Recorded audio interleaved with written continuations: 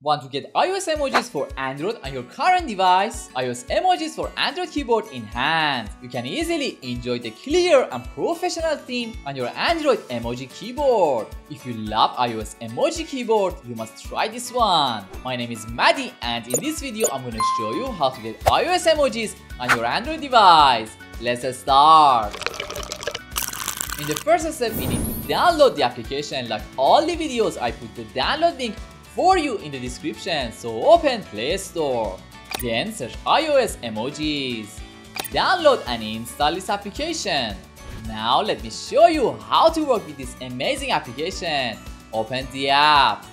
In the first step, tap on Enable iOS Emojis keyboard. After that, turn it on. Let's go back to the application. Finally, tap on Switch iOS Emojis keyboard and choose iOS Emojis keyboard.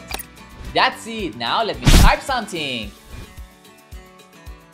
Nice, exactly like an iPhone. Just look at the quality of the emojis.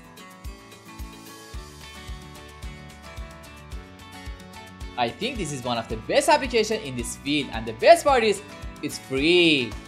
Also, it only requires Android 5 or later. Thank you so much for watching this video and I hope this video was useful for you. If you have any questions, please let me know. Subscribe to our channel so you can find out lots of new features and useful tools.